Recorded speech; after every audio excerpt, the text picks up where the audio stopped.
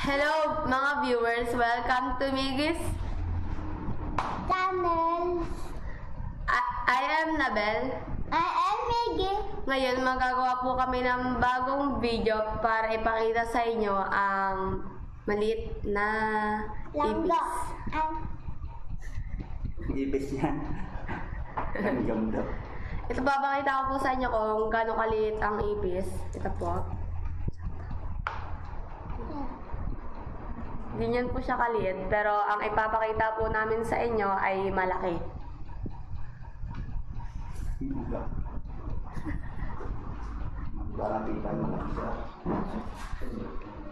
Tignan po natin ang ipis. Pag pagkakita niyo po, may antena po siya na nasa kakabit sa kanyang ulo. Tapos, may ulo po siya. Ayun po. oh. Tapos sa banding pa po, parang parang may maliit po, parang may maliit po siyang buntot. Ayun po. Tapos pag inilaman po natin siya sa sa kanyang likod, sa o kaya sa kanyang paa. Ito po.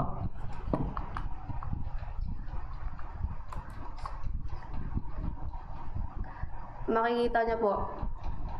Napakalagot po ng ipis. Tapos kung makikita niyo po yung parang sa paa at kamay niya, parang may tusok-tusok. Anigi. Ini. Op.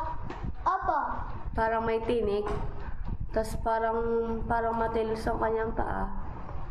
Parang lang. Tapos napakalikot po ng ipis. Kung makikita niyo po.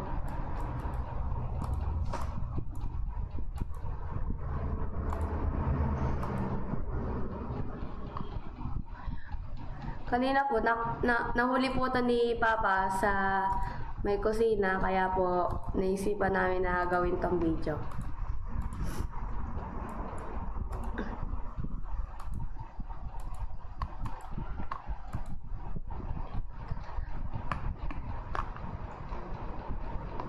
Sige, alam mo ba kung anong, ano sa English ang, ang ipis?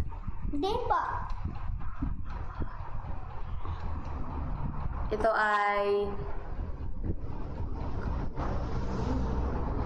Ano sa tingin mo? Ano po sa ano? Google.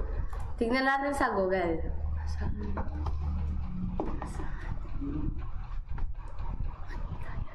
Search mo dyan. Ano tinignan po natin sa Google kung anong ibig sabihin. Kung ano ang kung ano sa English ang ipis. Backwards lang eh.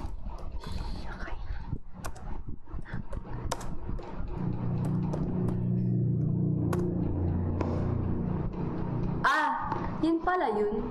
Cockroach. Ah, ngayon, babalik na tayo.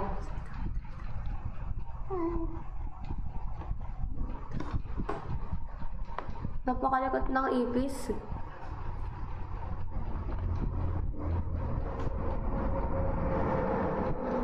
Ngayon, nalaman na namin kung anong sa English ang ang Eng- English ng ibis.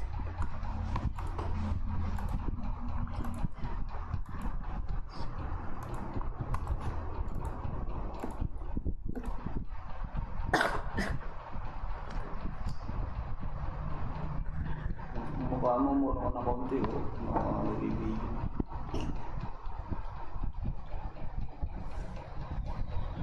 Tignan niyo po parang mahaba yung kanyang antena na nakakabit sa kanyang ulo. E.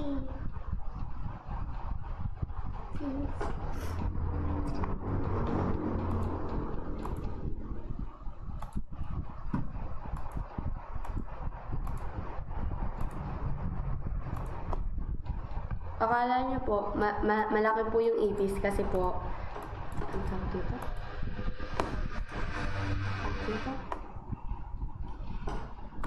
Ano yan? Yung... Ay, yung tawag din yan. Yung Close up. Kasi po, nakaka-close up po itong camera namin, kaya po napapakita po namin sa inyo ng malaki. Sige po, parang mahaba-haba na po ang ating video, kaya Hanggang dito na lang po. thank you po at mag-subscribe sa Vegas channel. Salamat po. Like din po. Thank you. Bye. Bye. Thank you.